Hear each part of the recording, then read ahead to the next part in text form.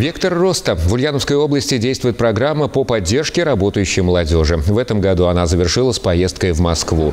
Молодежные делегации ульяновских предприятий приняли в Совете Федерации. Здесь состоялась встреча с сенатором от нашего региона Сергеем Рябухиным. Он рассказал о деятельности Верхней Палаты Российского парламента, о том, что сейчас формируется бюджет страны и ответил на вопросы молодых специалистов. Кстати, Сергей Рябухин поддерживает программу «Вектор роста». С июля команды, представляющие 15 15 предприятий принимали участие в обучающих и соревновательных мероприятиях каждым э, годом все больше ощущается поддержка э, молодежи нашего региона.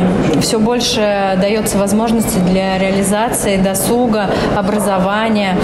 И наш проект э, как-никак этому подтверждение. Открытые встречи с успешными выпускниками, работающими на предприятиях – часть программы «Вектора развития». Кроме того, были экскурсии на индустриальные объекты, турниры по лазертагу и боулингу. В них участвовали одни из самых известных трудовых коллективов области. Это «Авиастар», «Марс», «Искра», «Ульяновск», «Водоканал». Абсолютным победителем программы стала молодежь контактора. Я вижу положительную динамику в развитии взаимодействия между предприятиями, между молодежью внутри предприятия, акционерного общества «Контактор» в том числе.